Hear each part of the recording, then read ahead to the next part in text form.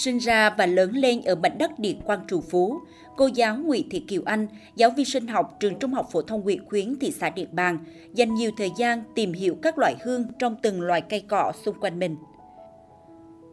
Có chuyên môn hơn 20 năm nghiên cứu và giảng dạy môn sinh học, cô giáo Kiều Anh cũng rất thích dùng các loại tinh dầu trong sinh hoạt hàng ngày. Một số loại tinh dầu có tính nóng, giúp ngăn ngừa và hỗ trợ điều trị các bệnh liên quan đến đường hô hấp. Một số loại khác có hương thơm đặc trưng, có tác dụng xua đuổi côn trùng, không gây hại đối với sức khỏe. Từ những giá trị đó, cô giáo Kiều Anh đã quyết định nghiên cứu sâu hơn và tiến tới sản xuất tinh dầu xạ Java dựa trên điều kiện tự nhiên có sẵn ở vùng đất gò nổi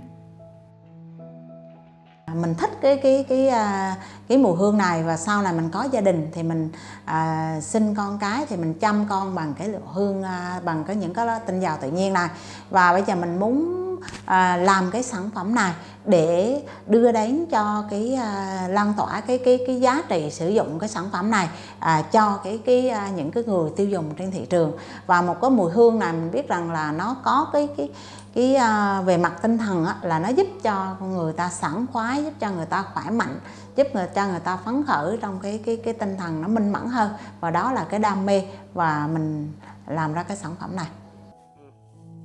từ giống xạ Java ở Đà Lạt, cô giáo Kiều Anh đưa về trồng thử nghiệm trên cánh đồng gò nổi. Điều đáng mừng là cây xạ thích nghi và phát triển tốt. Sau đó, cô cùng chồng mình là anh Doãn Văn Diệp, một cử nhân hóa hữu cơ, tìm đến làng Kim Sơn, nơi mà nghề nấu tinh dầu truyền thống của người Chăm Ba xưa còn được người dân địa phương kế thừa, duy trì để học hỏi kinh nghiệm.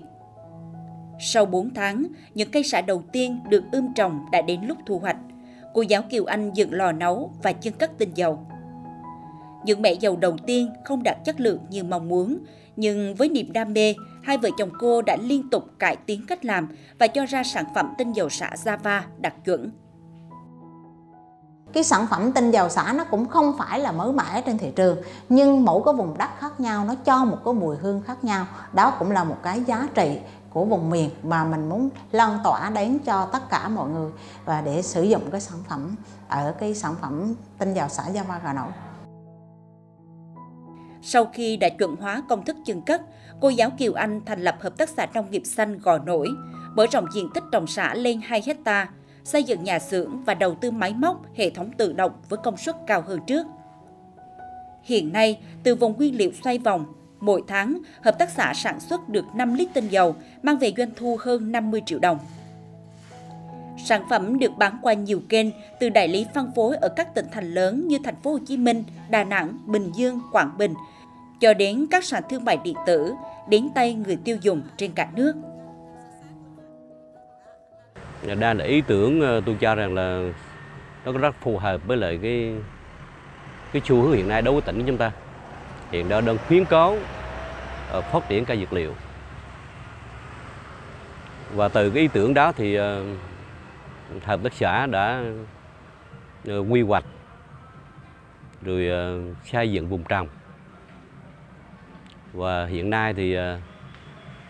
sản phẩm đó thì rất thành công. Và năm hơn nghìn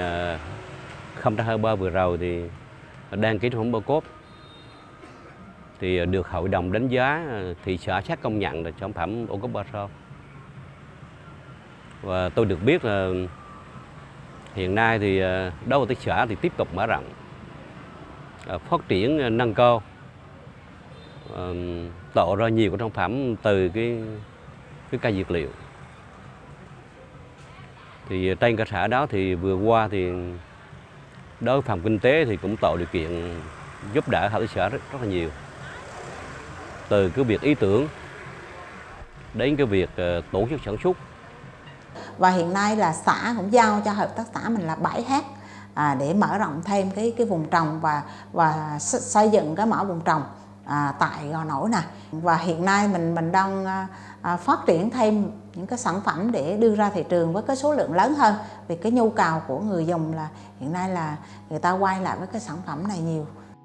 Ban đầu, hợp tác xã chỉ chân cất tinh dầu xạ Sava. Gần đây, cô giáo Kiều Anh đã sản xuất thành công các loại sản phẩm gia dụng như nước lau sàn, nước rửa chén, dung dịch vệ sinh, vân vân. Ngoài đạt chứng nhận 3 sao ô cốp, sản phẩm tinh dầu xạ Sava của cô giáo Kiều Anh còn được công nhận dự án khởi nghiệp cấp tỉnh và đạt giải khuyến khích sản phẩm công nghiệp nông thôn tiêu biểu tỉnh Quảng Nam năm 2023.